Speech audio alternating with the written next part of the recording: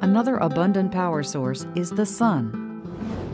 Penn State's Materials Research Institute studies microscopic ways of harnessing this resource using semiconducting single crystal microwires.